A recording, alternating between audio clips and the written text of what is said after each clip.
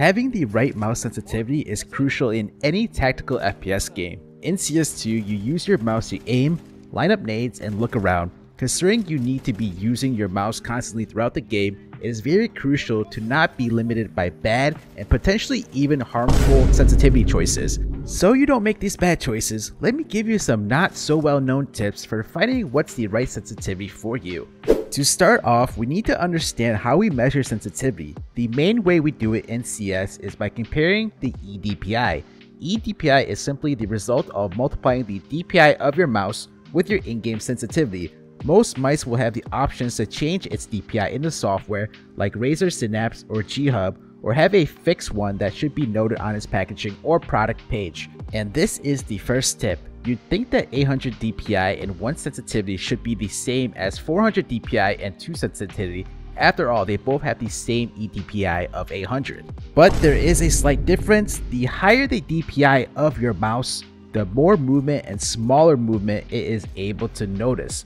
If a movement is small enough, it won't be noticed on 400 DPI, but would be on 800 DPI. After all, the in-game sensitivity just multiplies the information received from the mouse to calculate the corresponding movement in the game. If the mouse doesn't notice any movement in one direction, the in-game sensitivity won't have anything to multiply. This way, you can lower your mouse sensitivity to achieve a sort of auto-aiming stabilizing effect this can be especially helpful if you have a very loose grip and tend to suffer from a lot of shaking while aiming. The second tip you want to consider while choosing a sensitivity is the type of game and gameplay you will encounter. Counter-Strike as a game tends to have a very narrow window of action. If you get shot from an enemy outside of your field of view, you will most likely not have a chance to fight back either way, Therefore, you should focus as much as possible on being able to accurately flick onto any point in your field of view. Seeing as a lot of players play a 4-3 stretch aspect ratio, this will be quite a low FOV, which is also why most CS2 pros have relatively low eDPIs of about 830. So that's why the main reason low sense is preferred over a high one is the accuracy and precision you get from it. As you lower your sensitivity, you cover less space with each mouse movement, and it's far easier to hit headshots with a low sensitivity than a high one. Games where opponents move faster or they simply come at you from more sides will have higher average eDPIs. Apex Legends, for example, has an average sensitivity of about 1200 eDPI, and games like Fortnite nearly double the number of CS with 1400 to 1600 EDPI on average. This is only really useful if you make use of the same mechanics as the pros, meaning pre-aim in common positions, only make micro adjustments based on where the enemy actually is once you peek them, and use utility to restrict the amount of angles you are exposed to at the same time. If you prefer to do 360 no scopes and 180 degree spray transfers, choosing a higher sensitivity would obviously suit you better so given those, the general consensus among the competitive community is choosing an eDPI between 600 to 1200. Keep in mind that when doing micro adjustments, you want to utilize your wrist and when doing large swipes, you want to rely more on your arm.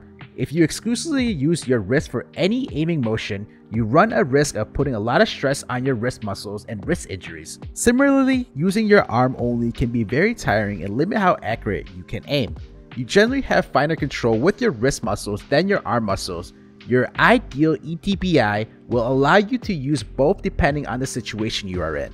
The next tip you want to consider is your desk space and mousepad size. The less room you have to move around your mouse, the higher you want to put your sensitivity, and the bigger your desktop and mousepad, the lower you can allow yourself to go in terms of sensitivity. Turkish pro player Woxic is known for his insanely high sense. The reason he had high sense is when he was growing up playing CS, he had very little room on his desk and he had no other choice. Nevertheless, he has and is still playing high level pro CS for many years and is a very skilled aimer. This shows the most important part I want to highlight here. Neither high or low sensitivity has any innate advantage. Your ability to aim is mostly strongly influenced by how comfortable you are with it.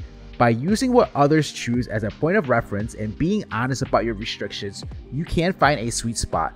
Most importantly, however, is to not change too often. Being comfortable is all about and getting used to something, and that comes with time. I'll be making a more in-depth CS2 mouse sensitivity guide in the future, so subscribe so you don't miss out on it. See you guys in the next one.